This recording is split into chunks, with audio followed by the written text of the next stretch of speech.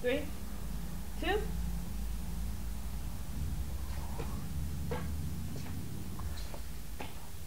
Bow form one, angle two, take one.